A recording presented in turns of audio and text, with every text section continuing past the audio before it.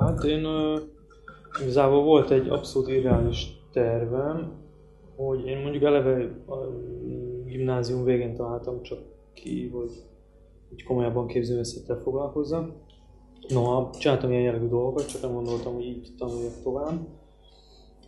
És viszont akkor az volt az elképzelésem, mert rajzolni nem tudtam azért annyira jól, viszonylag lusta voltam ennek a gyakorlásában, hogy majd először megpróbálok bejutni egy tanárképzőre, földrajz rajz szakra, vagy valami hasonló szakkárosítással, és utána akkor így elkezdek pályázgatni a vagyis hát nem pályázgatni, jelentkezni minden évben a képzőre, és akkor majd talán egyszer felvesznek testőszakra, vagy valami ilyesmi.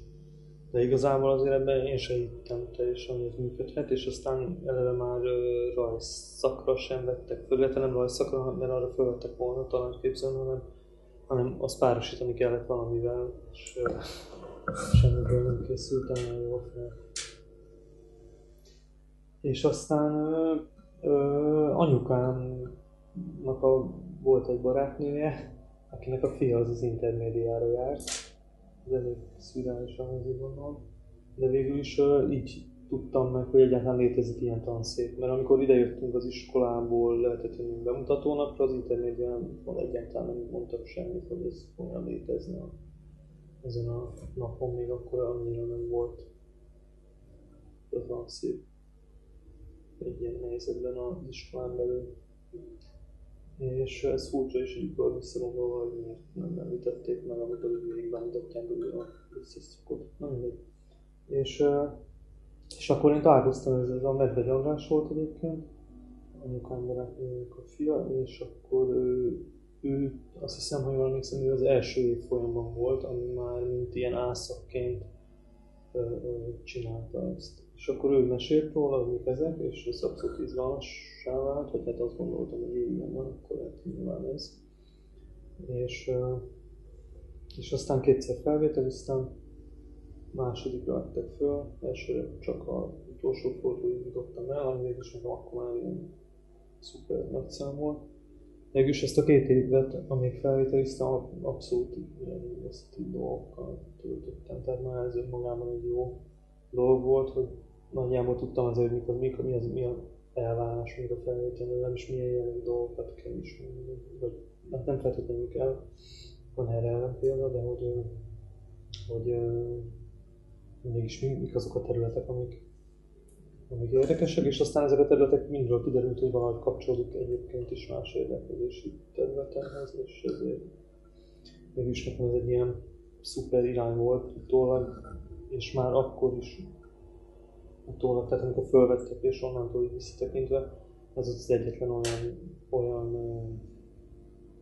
ilyen egyetemi tanszék, vagy nem tudom, terület, amit el tudtam volna képzelni, hogy tanuljak, vagy hogy, hogy úgy tanuljak, hogy közben abszolút érdekel, amit csinálok, és nem nincsen semmilyen megalkulás benne, ha csak nem számítom a tességulát. Ez kb. hányban volt? Ö, engem 90, hogy is 96-ban vettek föl, 90, 97-ben vettek föl. Emlékszem, 90-ben érettségiztem, akkor nem felvételiztem, 96-ban felvételiztem. Először, és 97-ben másodszor, és ott még annyi extraság volt, hogy közben elkezdtem együtt dolgozni a Horváth Tiborral, városban, és aztán mi egy kis művész csoportot csináltunk, zenéltünk is, és akkor mi azt találtuk ki, hogy úgy felvételizünk, ő először, én akkor másodszor, hogy mint egy művész csoport, tehát közös anyagokat adunk be, tehát hogy abszolút ezt így, így képviseljük, és aztán hát ez egy ilyen izgalmas dolog volt, mert akkor mit lehet ilyen helyzetben csinálni, hogy akkor emiatt most fölvesznek a mindkettőnket, mert nem akarják megbontani ezt a csoportot, hogyha már így jelentkezünk, vagy pedig pont, hogy nem akarnak belemenni ebbe a játékba, és csak az egyikünket veszik föl, vagy szóval ez egy ilyen fura helyzet volt. És hát ő is bejött, mindkettőnket fölvettek. És de akkor ugye még ezt csináltad a az érettségitől a felvételig. Szóval hogy város maradtál, és Hát nem Pécsen voltam egy évig, németet tanultam, egy nyelviskolában. Volt ilyen, ez a ilyen pályaközlő munkanélküli támogatással. De úgy közben igen, közben erre készültem. Akkor és uh, mennyibe volt más a, a, az intermédiás életben, elképzeltél volna? Hát így nem is az intermédiás, hanem inkább a, a, a, a maga az egész képző volt egy sok szempontból csalódás, sok szempontból meg végig is, vagy, kellemes csalódás is, hogy mondjuk a legnagyobb nekem az volt akkor az első pár évben, hogy azt gondoltam, hogy a képzőn ott egy csomó ilyen hasonló érdeklődésű, hasonló értékrendű, nem tudom, ember lesz majd, és hogy, hogy legfőképpen azt vártam tőle, hogy ezekkel lehet így dumálni, tehát kb. mint ahogy ilyen romantikusan elképzeljük a Montmart, hogy ott együtt isznak a művészek, meg dumálnak, meg együtt vannak folyamatosan. Kb. így képzeltem el a képzőt is, hogy akkor ott ilyen szakmai dolgokról beszélni emberekkel, meg hogy van egy ilyen inspirációs közeg. És ehhez képest illetve másrészt pedig az, hogy pont ez alatt a két év alatt sokat voltam, nem csak Pécsen, hanem Szegeden is, ami mind a kettő is ilyen egyetemi város, és, és valahogy ez az ilyen egyetemi diák pörgés teljesen más, mint Budapesten. Ennek végül is szerintem valószínűleg az az oka, hogy ezekben az egyetemi városokban a vidéki diákok vannak többségben, mint Budapesten. A vidéki diákok valamelyre feloldódnak, és a helyieknek pedig megvan a saját ilyen ismeretségi networkjük, és abba, tehát hogy, hogy nincs, és noha itt is a vidéki diákok például a kollégiumban együtt pörögnek, vagy összekapcsolódnak, ők egy kisebb magot képeznek, teljesen más arányok vannak egyetemi városokban, és szóval jobban együtt búznak, meg erre kevesebb hely is van nyilván, vagy nem tudom, koncentráltabb minden. És ez, ez a kettő, hogy ez itt nem volt meg, hanem ezzel szemben inkább az volt a tapasztalat, és szerintem ebben az intermédia is azért ö, ö, az intermédiás diákok aztán végképp jelen jártak, hogy, hogy ilyen ciki munkákról beszélni, vagy egyáltalán ilyen művészeti kérdésekről, vagy hát akkoriban most azóta lehet, hogy változott. Meg valahogy ilyen, nem, nem tudom, tehát hogy ö,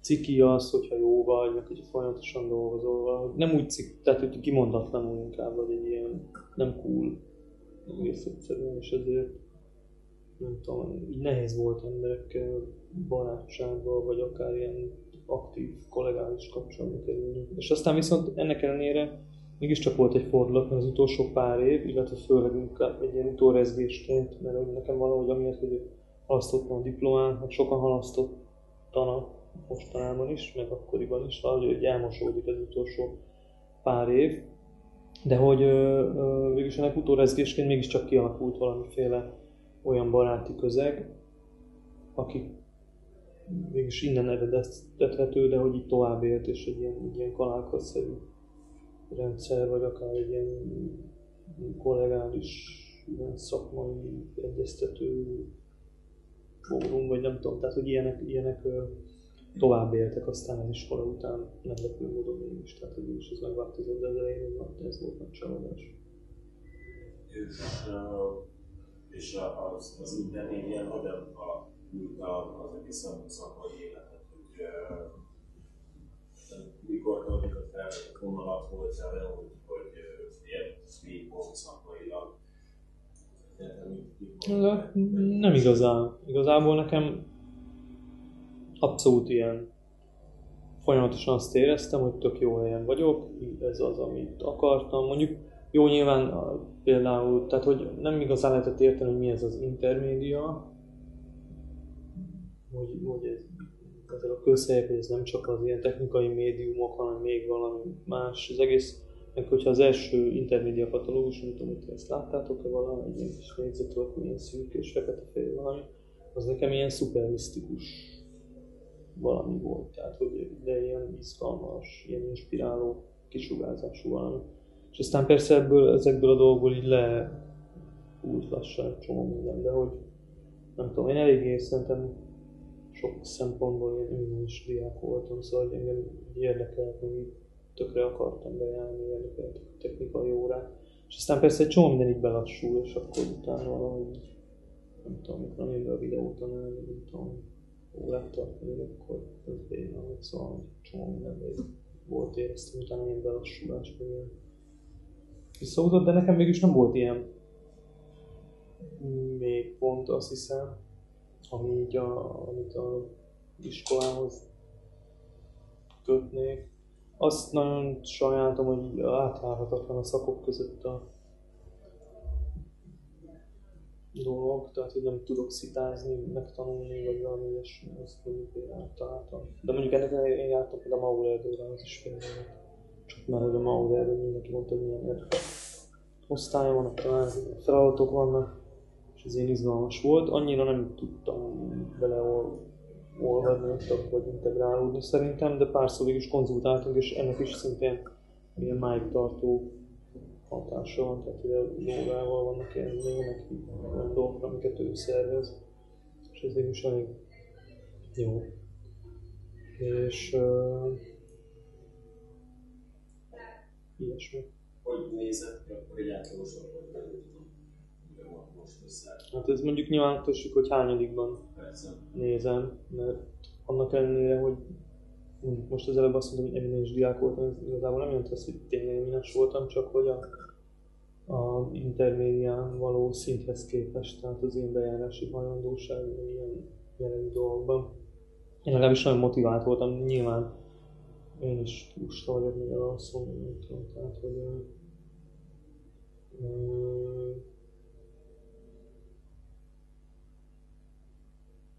Hát, hogy hogy telt egy napom, nem tudok már szólni, még nincsenek ilyen. Nem tudom, nem érzem úgy, hogy a egyik héten hasonlítan egy kicsit is a másikhoz. Akkor sem, és azóta sem, szóval ezt, ne, ezt nem tudom megválaszolni ezt a kérdést, de, de mondjuk szerintem akkoriban az is más volt, hogy igazából az intermédia akkor költözött át ide az óvodába, amikor én elmentem tehát amikor az egy év halasztás volt a, a, a diplomához, akkor jártam ide én a bejártam szent jogára, nem ilyesmi. De igazából még akkor itt nem is alakult ki annyira a rendszer, hogy hogy van. És ami a, előtte volt a főépületben, az egy olyan kicsi igazából egy ilyen galériás helység, mellett egy videóvágó, ennyi volt az internet tanszék, és lényegében minden abban az egy teremben történt azt így nagyon nem lehetett használni műteremként. Noha elvileg az volt, és elvileg bent kellett volna egész délután az összes intermédiásnak a teremben úgy, hogy közben órák is vannak. Tehát már eleve a, a saját szabályzatát az iskola nem tette lehetővé, hogy betartsa valaki, aki akarná. Ja, még plusz még volt a tanári mellett egy ilyen internetező szoba, ami is egy pontosan volt az internet miatt. És emiatt Szerintem, hogy nem voltak ö, olyan tantermek, mint mondjuk egy festőosztálynál, nem is tudott kialakulni valamiféle kommunikációs ilyen dolog. Ez szerintem főleg Tihanyban, meg ilyen helyeken alakultak később ezek a dolgok. És, és, no, és szerintem nagyon kevés olyan diák volt, aki valamit is abban a teremben készítette el. mondjuk nekem volt ilyen munkám, és akkor volt olyan, hogy ott kalapáltam, közben abban fenn a galérián lent, hogy ment a Szent Jogi óra, de persze nyilván próbáltam ezt provokálni is, hogy nincs elég hely, hogy akkor most ez hogy van. Izé, de, szóval, hogy emiatt a bejárás tök máshogy alakult. Itt azért be tudsz úgy jönni, hogy két óra között csak mondjuk a műteremben cigizgetsz és dumálsz a haverjaiddal, vagy szóval, hogy jobban be lehetett azért költözni hogy be lehet költözni ide szerintem. Személyet, emiatt más, inkább így az órákból álltak a dolgok, és uh, még ami ehhez jön, hogy nekem szinte ilyen kicsúcsosodóan leghasznosabb órák az a sugár, illetve a Szent Jogi, illetve a Szent Jogival való konzultáció. Tehát igazából, hogyha az összes többi nem lett volna, ez most kicsit egy durva persze, akkor is nagyjából szerintem most itt tartani, nem tudom, ez lehet, hogy hülyeség, azért nyilván egy csomó technikai dolgot megtanultam, De valahogy mégiscsak azért az, a, az adja a demenciát, szerintem. Vagy nekem legalábbis. Milyen volt a viszony a, a többi tanárral? Hát nem, ne, igazából ne, Tanári arra, hogy ebből azért nagyon kis helyre összpontosult az egész. És Hát szerintem- szerint... Igen. Szerintem eleve azért keves, kisebb volt a tanári kar talán, mint most. És, és azért így, ilyen koncentrált karakterek. Szerintem inkább. Most leszámítva a technika, bár még az sem igaz. Technika tanárokat. Mm.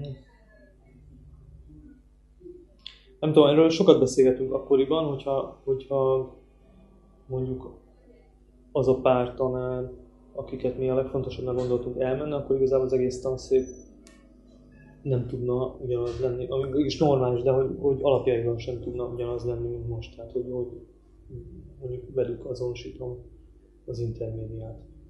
És ez szerintem. Nekem mondjuk a Sugár meg a Szent Jogi igazából. Ami nem azt jelenti, hogy nem voltak más olyan tanárok, akik kettő jónak gondolok, Tilmannal már jóban vagyok, és valamilyen munkakapcsolatban is vagyunk, nagyon szerettem az alkát. Vele nem kerültem annyira szoros kapcsolatba, nem fotóztam olyan komolyan, de ettől függetlenül nem tudom, tehát hogy most így a akiket így leginkább kiemeltem.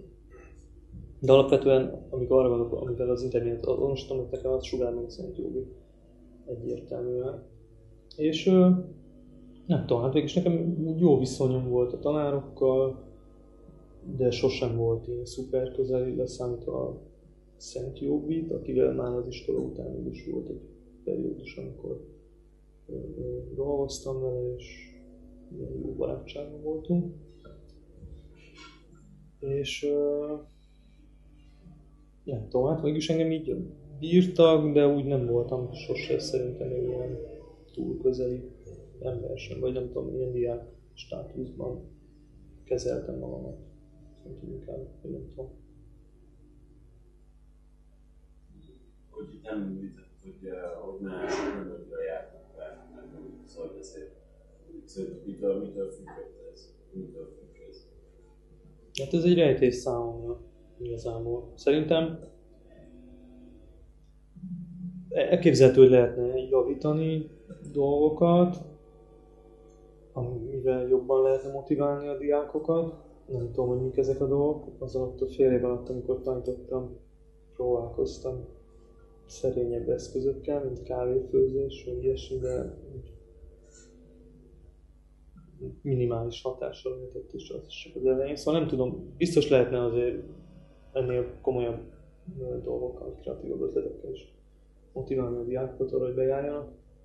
Nem tudom, hogy mi az, de szerintem, szerintem ennek részben az az oka, és ezt végül is elfogadhatjuk normálisnak, hogy egész egyszerűen szerintem, és, de ez lehet, hogy régebben inkább volt igaz, hogy pont attól, hogy nem lehetett pontosan érteni, mi az az intermédia, ez valami nagyon ilyen dolognak tűn, meg ezek a technikai médiumok miatt, meg aztán végképp valami ilyen cool dolog, hogy eleve már sokan félreértésből jelentkeztek és kerültek be, és utána úgy annyira nem, abban az irányban lehet, hogy nem volt annyira profi, hogy ők most nem tudom, ilyen nem tudom, média emberek legyenek, mert hogy kommerciális értelemben.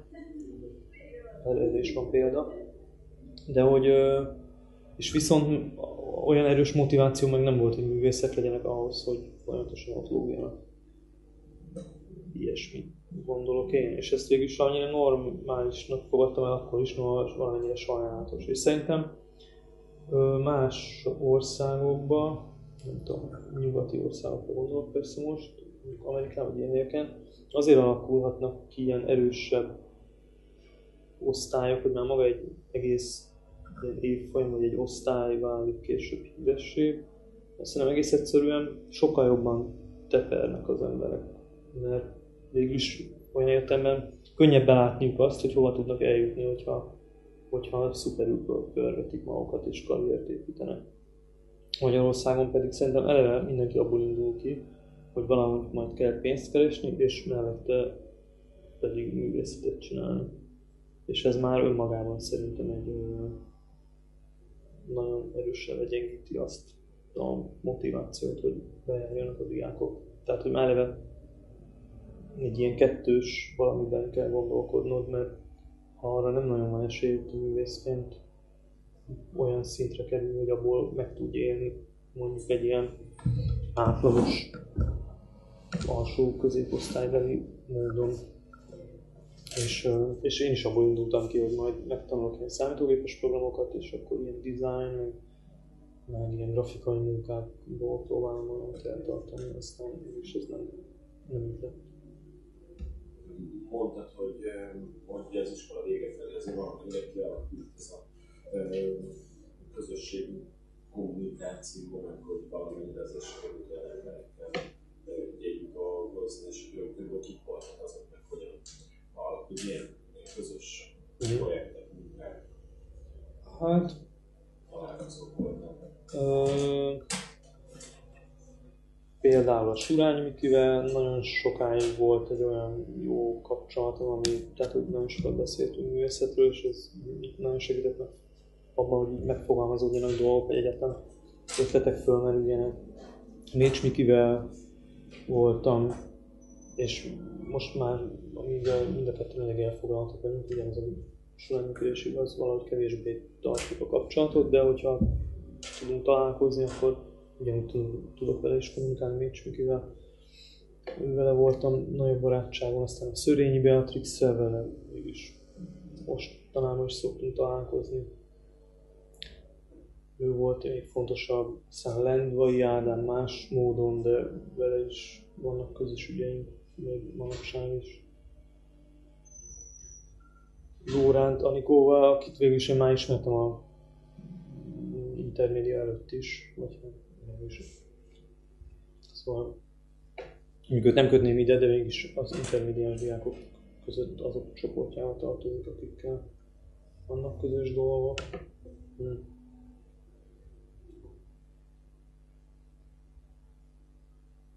Hát biztos vannak még.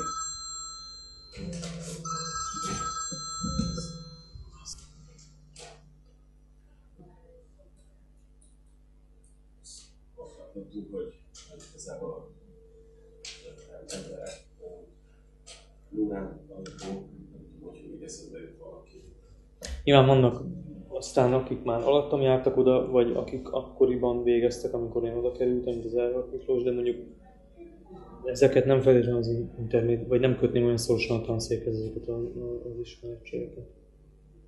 Szóval mondjuk ez, a, ez az, akiket most sorsoltam, szerintem a, akikkel tényleg ilyen szorosabb munkakapcsolatban is voltam.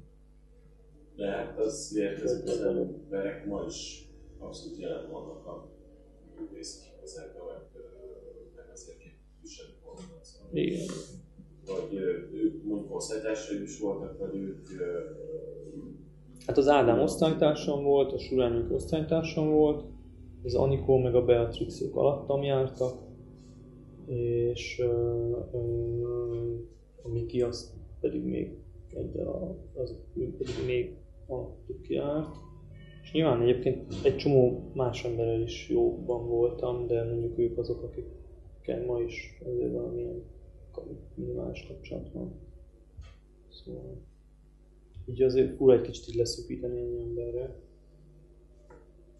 De igazából akkoriban sokkal kevesebben is jártak egy-egy évfolyamban, most. Az miután én eljöttem, akkor volt szerintem egy ilyen, egy ilyen emelkedés, hogy 10-10 fölé emelkedett a évente felvettek száma. Amikor engem felvettek, akkor 6-7-8 embert vettek fel az évben, szóval eleve kevesebben voltunk voltak, akik eleve már van munkahelyen voltak, vagy sokkal idősebbek voltak, mint én. Szóval egy csomó ember teljesen eltűnt a művészeti élményből, és az én horizontomból is. Neked az iskola alatt az ilyen egzisztenciális életet végted, az, hogy alakult, miből Hát engem mégis a szüleim támogattak valamelyest, amennyire tudtak, és az még az első néhány évben valamennyire elég is volt. és ö, ö, be tudtam vidékiként kerülni a koleszba, ráadásul az Anikóval együtt laktunk, tehát az nekünk egy ilyen szuper kényelmes megoldás volt, hogy volt egy szinte ingyen a bérletünk, és, és hát azért eléggé alacsonyan tartottam az életszínvonalamat, akár csak manapság.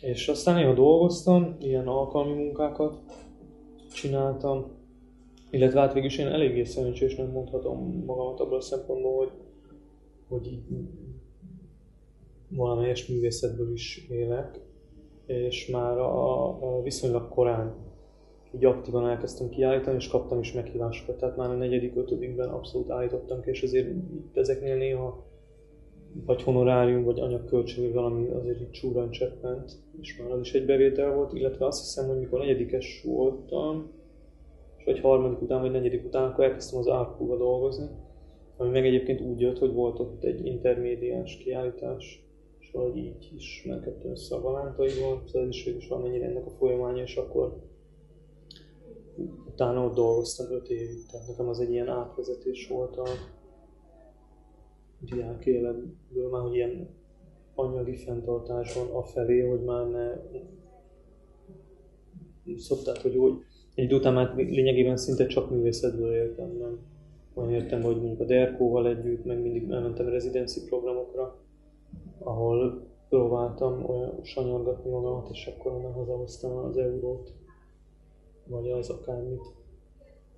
És akkor még abból tudtam pár hónapot élni, szóval, hogy így ilyenek. Meg aztán közben csomó fizikai munkát is csináltam. Azt a képző alatt még kevésbé, később többet ilyen lakásfelújításokat, utána jöttünk a klubban.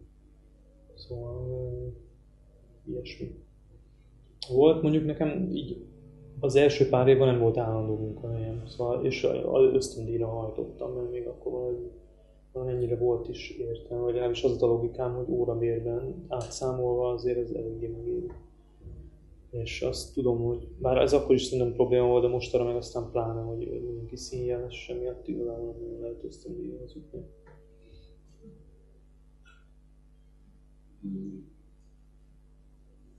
Utolsó éveid hogyan alakultak, hogy, hogy mondjuk milyen eltérés tapasztalsz és elgondolkodásod van azon, hogy felvettek, itt felvételi előtt, és amikor elvégezted a diploma Hát szerint nyilván egy csomó ilyen mini megvilágosodáson mentem át, és aztán azóta is, úgyhogy ezt most nehéz oda visszavezetni. Szóval, hogy ö, szerintem már azáltal, hogy elkezdtem felkészülni a felvételire, és egy csomó mindenre egy rápörögtem, onnantól kezdve is egy folyamatos ilyen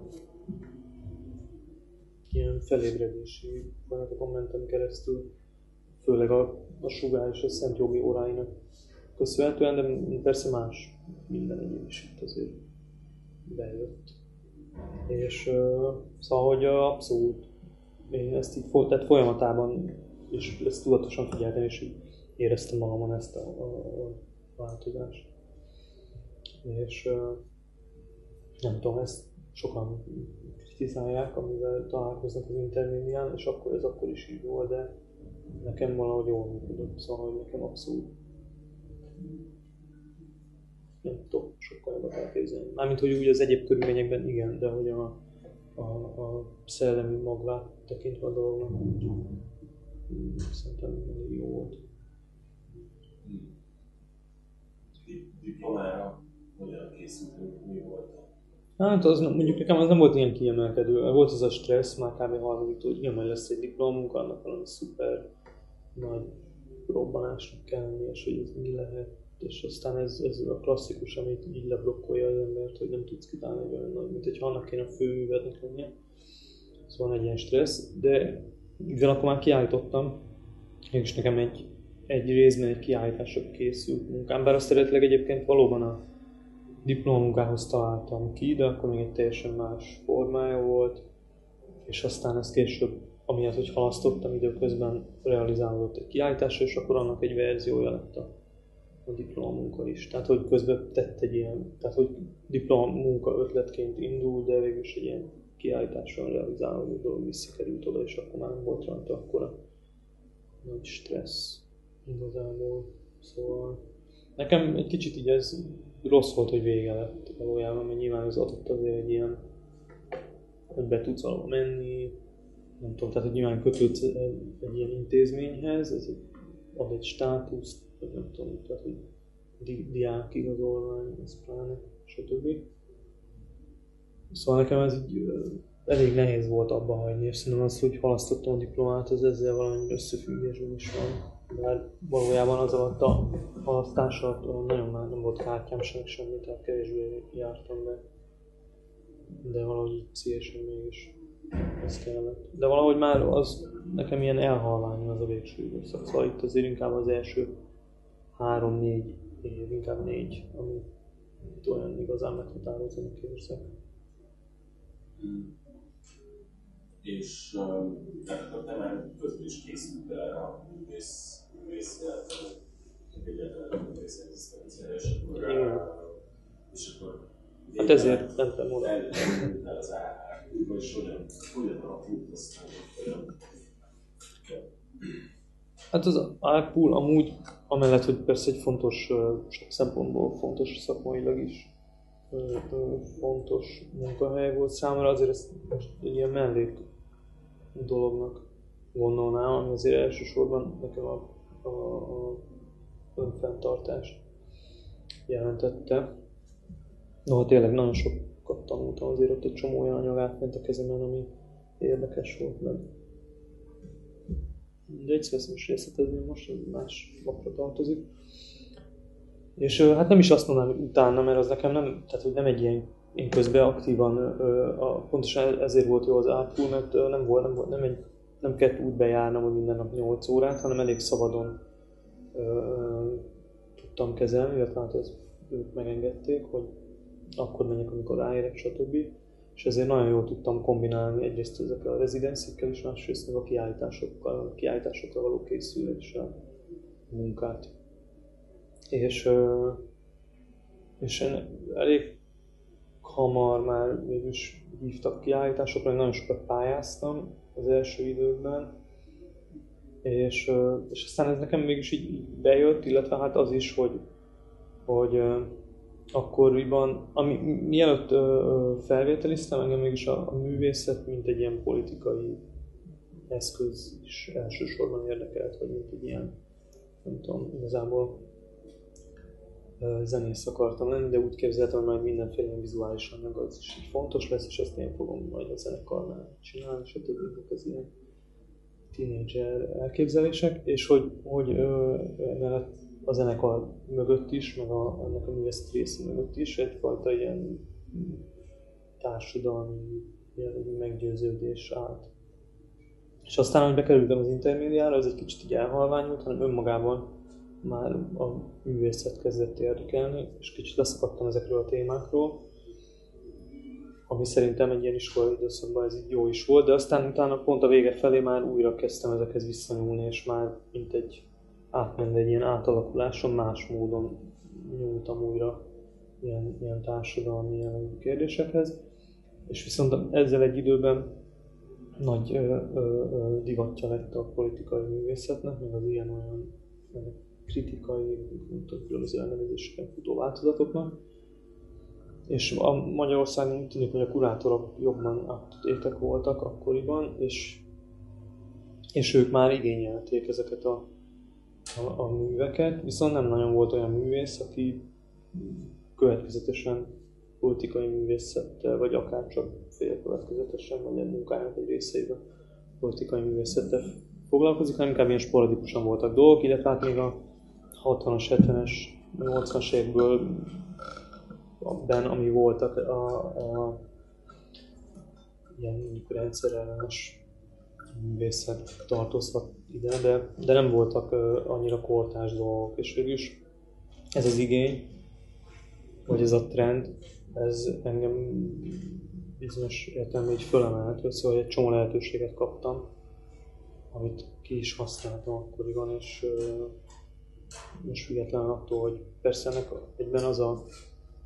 veszélye is meg volt, hogy belekerültem a politikai művész kategóriába, amit én nem annyira szívlelek egyébként, mert hogy sokkal diverzebbnek gondolom azt, ami érdekel, vagy amivel foglalkozok, és ez mindenképpen így le korlátozza az interpretációs lehetőségeket a műveknél. Na mindegy, és végül ennyi, és utána már így félig meddig meg tudtam élni, mint művész, úgyhogy hogy ilyen plusz alkalmi munkákkal kiegészítve az ösztöndíjakat, meg a díjakat, meg a gyereket. Szóval, de ez to- azért továbbra is egy... Tehát, hogy sosem volt egy ilyen nagyon konkrét elképzelésem, hogy majd akkor nem tudom, eladni fogok, és akkor az jó lesz, hanem azért ez egy folyamatos egy ilyen rizikó helyzetnek a felvállalása. Szóval, ami viszont tényleg azzal jár, hogy akkor az életszínvonalat alacsonyan tartani, ne legyenek olyan berendezések, vagy olyan, hogy nincs autó, vagy ilyesmi, aminek a fenntartását, vagy aminek a fenntartása búzsba kötne. Mondjuk nem is tudnak autót, szóval ez is egy értelmetlen kérdés, de hogy hasonló is hogyha nagy lépésekre meg kéne fogalmazni a, a, a diploma után életet, akkor, akkor körülbelül? De épp ez az, hogy nem, hogy nem nekem, én, nekem ez így nem különül, nem különül el, hogy diploma után, mert amikor diplomáztam, addigra már egy rendszeresen kiállító művész voltam, lényegében kb. harmadiktól vagy negyediktől, és igazából egy ilyen átmenet volt, ahogy az iskola inkább így lefélemlődött valahogy, és, a, és átfolyt a stúdióba, ahol, ahol tag voltam már harmadikos koromtól szerintem, általában, vagy legalábbis korábban még az volt a gyakorlat, hogy diploma után felvételiztek oda az emberek, viszont én már elég korán, és aztán fel is vettek, és a, mégis a stú, nekem a stúdió jelentette így a, a átmenetet, a, a, tehát a, a sugár szokott beszélni erről, hogy a, amikor így még a főiskola vége felé, vagy az egyetem vége felé vannak lehetőségek, így fel vannak pörögve az emberek, de hogy kikerülnek, hirtelen egy ilyen légüres térbe kerülnek. Én ezt a, valahogy magam nem tudtam annyira akkoriban értelmezni, mivel pont azt lát, és úgy éreztem, hogy ez inkább a sugár generációjára volt még inkább igaz, de úgy láttam, hogy egyrészt most már annyira mindenhol a fiatalokat akarják, a Biennale-kon tínédzserek fontosan kiállítani, hogy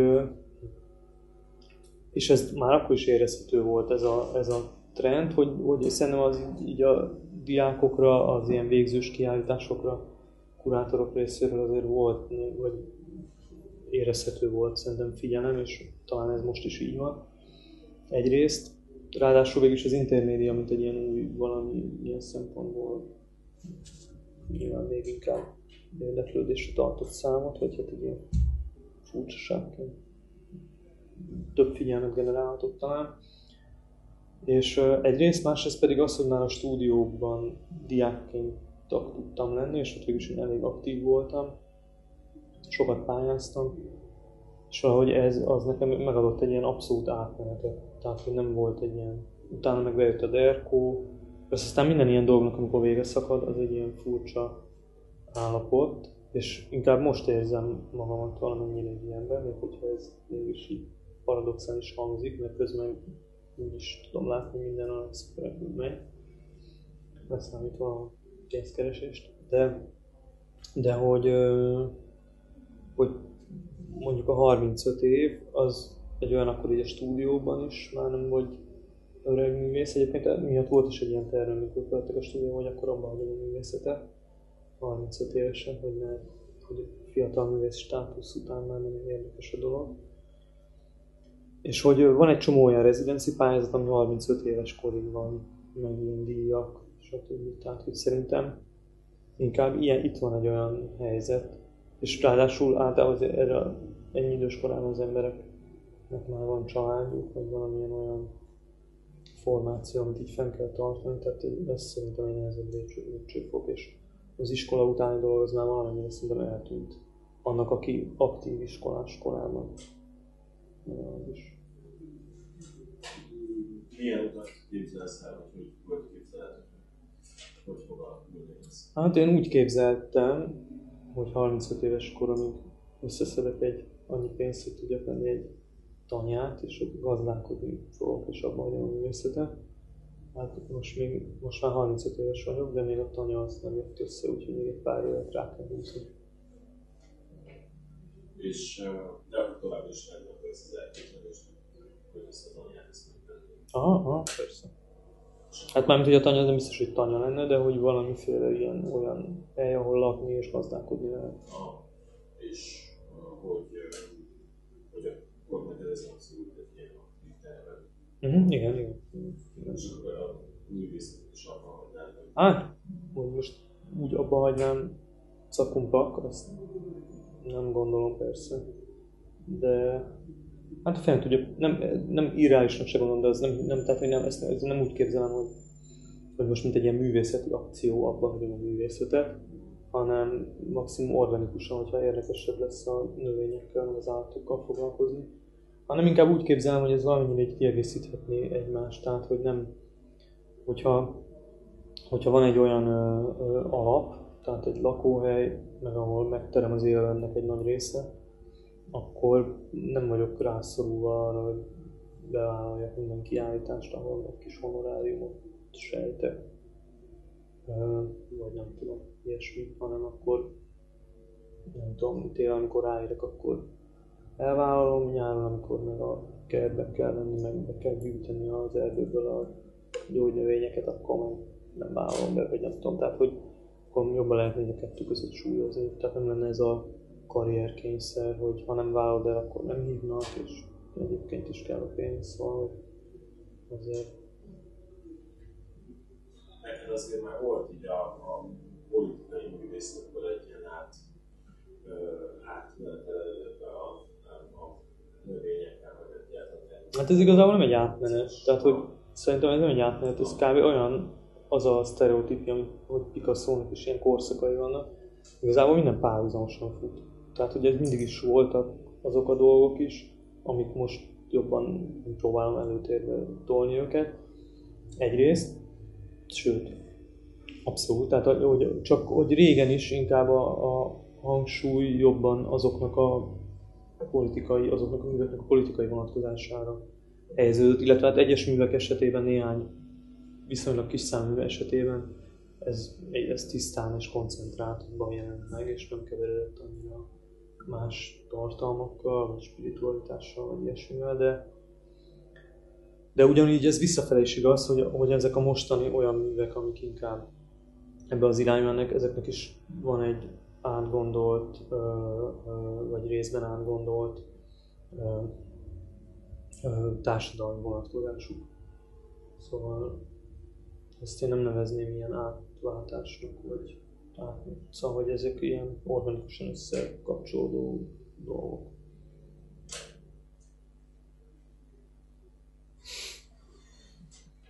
Um,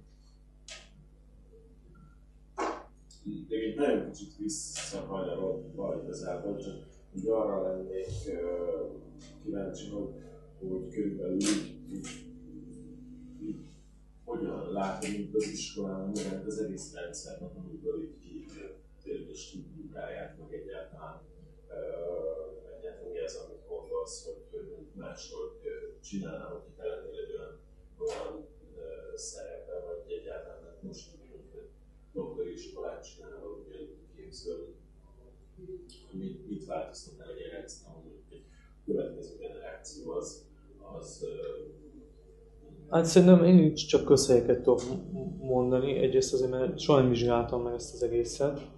Másrészt pedig már, hogy így ténylegesen részleteiben menően ilyen elemzésszerűen. Csak ilyen kocsmai beszélgetések,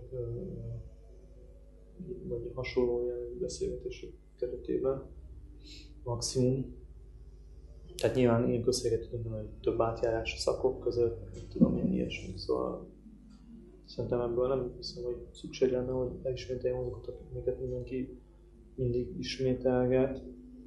Ez az egyik. A másik pedig, hogy, hogy szerintem eleve sokkal, vagy hát én mindig azt gondolom, hogy sokkal szélesebb kereteket kéne valójában megváltoztatni. Tehát ahhoz, hogy az iskola változzon, valószínűleg a, nem tudom, a társadalmi felépítettségnek is változnia kéne. És aztán viszont, ha ezen kezdek gondolkodni, akkor olyan messzire megyek, hogy végül is azt gondolom, hogy iskolára nincs is szükség, hanem egészen máshogy kéne a tudás átadásnak és inkább mint ilyen törzsi jellegű formációkat képzelek, amik így hálózatosodnak, és így tovább. De hogy ez még már olyan messze van a realitástól, hogy ezért megint csak ennek nincs értelme, hogy most ezt, erre ezt válaszoljam. Szóval nem tudom igazából. Lehet, hogy jól van minden így. Rosszul. Hogyha mondjuk a saját, saját tudásod, a saját gondolataidat kéne átadni, azt képzelni fókuszálva, és nem a saját gyerekednek, hanem azért kicsit távol. Hát végül is valamennyire ez a tanítási gyakorlat, ez, ö, ö, amit csináltam tavaly, ez megválaszolja ezt a kérdést. Én ö, leghasznosabb, mert hogy mégis amikor ide bekerültünk, akkor bár volt egy csomó olyan elméleti óra, ami persze inspiráló volt, de valahogy sosem, mindig így ez a hiányérzet megmaradt, hogy hol a gyakorlati kimenet. Mert hogy mégis egy olyan helyen vagyunk, ahol a gyakorlatnak legalább olyan súlyúnak kell lennie, hogy ténylegesen gyakorlatban is lefolytassuk azokat a dolgokat, amikről beszélünk, mint, a, mint az elméletnek. És azt hiszem, hogy az intermédián nagyon picit talán az elmélet felé billen. Bár jó, ez, ez kérdéses, hogy ez igazam van-e, vagy sem. De talán sok esetben igen. Tehát nagyon sokszor ez abban is megmutatkozik például, hogy a diákok ötletekkel állnak elő, mint művekkel. Sőt, egyes diákok erre építik fel az életművüket. Mondjuk ez már egy másik kérdés. De hogy viszonylag kevesebb volt, legalábbis amikor én oda jártam, az igazán ilyen megvalósított, kivitelezett, megcsinált dolog, inkább ilyen, ilyen légvárszerű, vagy hát nem fed, tehát ugye lehettek ezek komoly dolgok, de inkább ilyen elméleti jellegű, megfoghatatlan dolgok voltak jelen, és emiatt volt hiányérzetem, és talán az lehet, hogy jó tanátok gyakorlat lenne egyrészt, viszont közben elfelejtettem, amit akartam mondani, de az az volt a tanítással, visszatérő, hogy szerintem ez a legjobb forma, amit a Sugár, illetve most talán Kispának is van ilyen órája, amit ők csinálnak, de lehet, hogy más tanároknál is van hasonló. Talán az Ádám is egy picit hasonlóan dolgozik, bár ott inkább egy technikai dologról van azért mégiscsak szó. Tehát, hogy, hogy egy ilyen aktív beszélgetős feladat, adós, feladat megoldós helyzetben diskuráljunk, valahogy ilyennek képzelem egy, egy jó festőosztályban, egy, vagy szobrász osztályban egy jó tanárt, aki tényleg minden nap bemegy, ott akkor megnézik a munkákat, amiket csinálnak, azokról beszélnek. Közben ezek kapcsán följön egy csomó téma, asszociatíve, vagy a tanár akár tudatosan előhoz olyan dolgokat, amit ő is pörög, vagy amik aktuálisak valamiért, közösen meg lehet nézni dolgokat. Szóval végül is ilyesmit hiányolok. Néha egyébként itt a doktoriskolában, hogy egy-egy előadás előtt után megnézünk egy YouTube videót, és akkor kicsit reagál mindenki, de ez, ez inkább csak ilyen szimbolikus, de valójában itt sem működik ez. Tehát, hogy én, én ezt tartom a legjobb tanítási módszernek. Végülis ezt az ilyen kollektív konzultációt hívható valamit.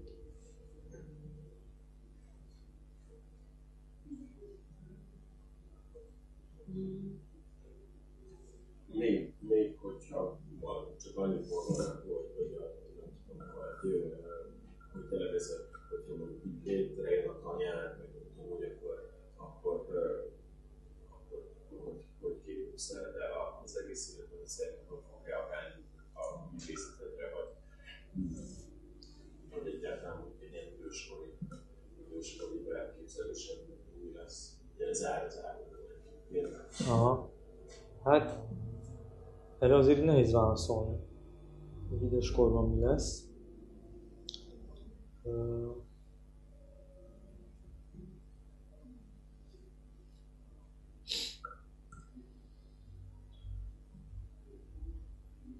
Nem tudom, azért ebből nem szeretnék egy ilyen abból, a művészetet lecsökkenteni, egy ilyen projektet csinálni.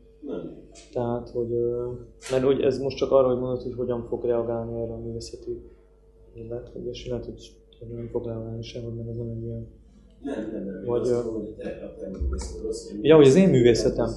Az én művészetem szerintem olyan nagy különbséget nem látok, maximum abban, hogy, a, hogy amivel az időben töltöm, az remélem áttolódik a hangsúlya a gazdálkodásra, de hogy ebben én abszolút ö, ezt nem érzem egy olyan széles váltásnak, hát csak azért sem elég sokat barkácsolok, amúgy is a műtárgyaim esetében, vagy szóval a kivitelezéseknél, amit tökre hasonló ahhoz, amikor azokat csinálom, vagy nem tudom, ugyanazt a élvezetet jelenti számomra sokszor egy installáció összeállítása, és ott nem tudom, az arányok, meg az anyagok, meg a technikai megoldásoknak a kigondolása, mint akkor, amikor egy volt műtárgy darabjaiból bútort készített például, vagy nem tudom, tehát hogy ott is ugyanúgy megvan ez az élmény, ez az installálós élmény.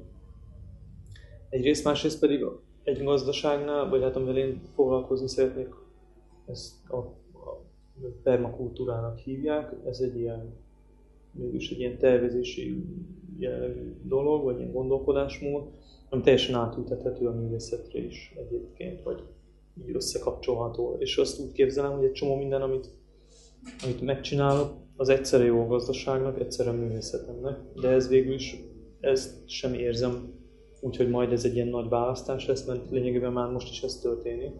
Egy csomó anyagot például, amiket installációban használok, azokat utána átviszem kertészkedésbe például, vagy nem tudom, tehát mondjuk, hogy üvegházat építek, ilyen maradékanyag volt, ilyen dobozokat, vagy a szerszámokat, amiket kiállításon nem tudom, voltak ilyen zászlók, amiket ilyen kapa, kassa, kasszára voltak rárakva, utána azokat az eszközöket használom, tehát hogy ez, ez az átjárás, ez már most is megvan, hát még hogyha lenne tényleg egy saját területem, és uh, ahol tudom felhalmozni ezeket az anyagokat jobban, de most például a logisztika, meg a tárolás, ez nagyon nagy problémát jelent. És uh, illetve a maga a gondolkodásmód is, hogy hogyan tervezek meg dolgokat, szóval hogy abszolút és hát még tematikailag is, mivel most is vannak olyan műveim, részben kollaboratív művek, amik ezekhez a témákhoz kapcsolódnak, mint az ínségeledele, az, tehát hogy az, ezek, ezt nem csak a művészeti téma kedvéért dobom be, hanem mert valóban érdekel, és ezt tanulmányozom, tanulom azt, hogy miket hogyan lehet begyűjteni az erdőből, azokat hogyan kell utána felhasználni, meg elraktározni. Aztán az üvegházas dolog is egy, mégis egy, egy, egy ilyen projekt volt, hogy az erdeiskola dolog, szóval egy csomó minden, illetve a jurtakészítés is ehhez az életformához is kapcsolódik, de a művészetben is felhasználtam. Most tervezünk csinálni egy fólia jurtát, aminél már kifejezetten az a tervünk, hogy ezt fogjuk adni, mivel bérelünk csak egy telket, ahol nem nagyon akarják, hogy a pázsitot ágyással alakítsuk, és ezért egy, egy ilyen nomád fóliasátorszerű dolgot tervezünk, amit valóban fogunk használni növénytermesztésre, és hogyha ne jól alakul, akkor pedig ősszel, télen műtárgyként kicsit átalakítva, meg a projektet részben bemutatva, műalkotásként is úgymond el tudjuk adni, csúnya szóval. Szóval, hogy ez szerintem ez egy, egy organikusan összenőni ez a dolog. Nagyon szépen köszönöm. Szívesen.